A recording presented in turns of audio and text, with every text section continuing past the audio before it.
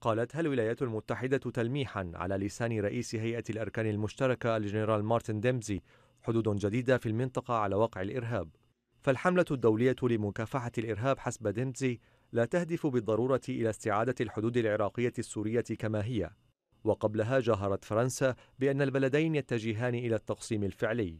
الجنرال الأمريكي استبعد إلحاق الهزيمة بتنظيم الدولة. وبنظرة أكثر تفاؤلا قال إن الهزيمة إذا ما ألحقت بداعش فهي لن تدوم.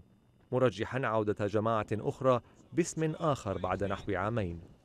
وإدارة أوباما تواظب على محاولة تثبيت كيانات عراقية ثلاثة في المشهد الدولي.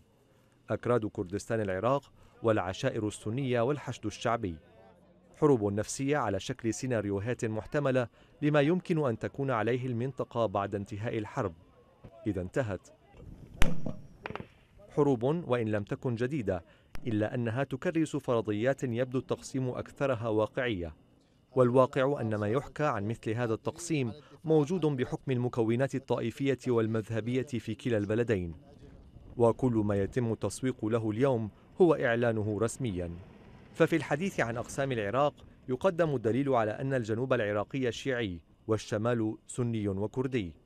وعلى الجانب السوري يسمع عن تجمعات علوية وأخرى سنية وثالثة درزية ورابعة مسيحية. وبين العراق وسوريا وعلى مساحة تمتد ضمن حدود الدولتين يسوق لمنطقة سنية.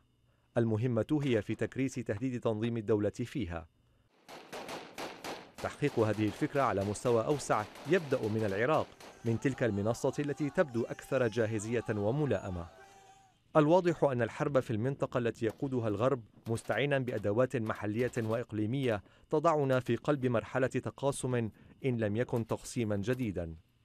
مرحلة تدرجت من النكران وانتقلت إلى التمرير ومع التلميح الأمريكي سلكت طريق المجاهرة.